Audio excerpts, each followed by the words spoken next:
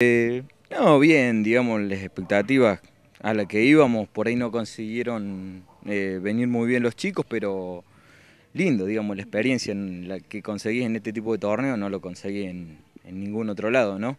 Eh, realmente, por suerte en este, en este torneo pude traer mucho material, pude recopilar mucha, muchos videos, mucha información que, que realmente lo conseguimos en este tipo de torneo nada más. ¿Deportistas de qué países participaron? Mira, eh, acá los tenía anotados justamente porque eran, eran varios. De, afuera, países había de, Francia, Guatemala, México, Inglaterra, España, China, Estados Unidos, Italia, Costa Rica y, Puerto Rico. Esos son los que participaron. ¿Los chicos pudieron desarrollar bien eh, las dos disciplinas eh, a las que iban preparados? sí, de competir, compitieron los chicos, te digo la verdad, en forma hay un nivel muy alto, muy, muy diferente. Hoy se compite en un estilo muy estilista, van más, más que todo a la parte acrobática, más que a lo que es en sí el, el kung fu, ¿no? Pero, pero bueno, veremos de, con todo esto que trajimos, de ver de modificar un poco también el sistema nuestro y bueno, tratar de competir para el 2012, ir a, ir a competir con una forma un poco más competitiva, ¿no? Y en combate, bueno, eh, Francisco, el más chiquitito, tuvo una excelente experiencia, ganó, ganó dos peleas y peleó por el tercer y cuarto puesto y no tuvo suerte.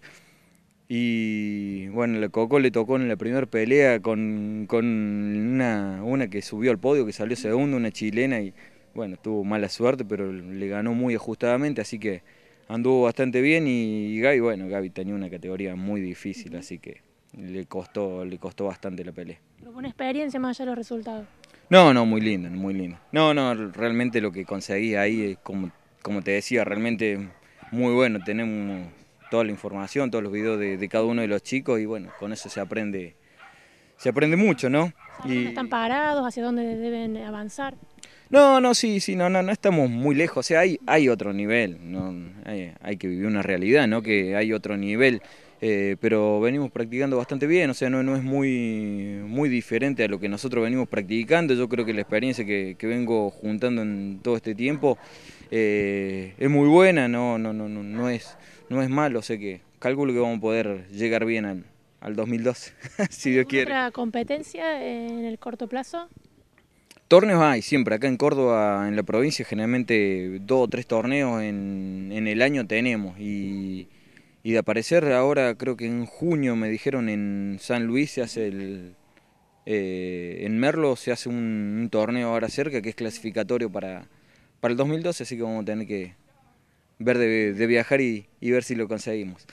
Yo personalmente no pude competir eh, se retrasaron mucho los horarios y lamentablemente me tuve que quedar con las ganas porque estaba programado arrancar a las 11 de la mañana y arrancó a las 2 de la tarde el torneo, se, retrasó no sé por qué, por qué razón y bueno, se me hizo tarde por, una cuestión de viajar, bueno, tuve que volverme sin competir, será la, será la próxima realmente, lo que me importaba realmente era que, que los chicos pudieran, pudieran competir, ¿no? ¿De qué se diferencia el Kung Fu de otras artes marciales? No, en sí la diferencia, la base, la base son prácticamente todas iguales. Unas trabajan un poco más las manos, las piernas, uno trabaja más defensa personal. Eh, yo creo que en sí toda la base es igual en todas las artes marciales. Después está un poco cada estilo que compite entre sí y eso, pero en general hay algunas escuelas que se dedican más a lo deportivo, más a lo competitivo eh, y otros más a la parte de la base, como nosotros tenemos una disciplina que es muy antigua, es un estilo muy, muy antiguo y por ahí, por eso cuesta también eh, mantenerlo, ¿no?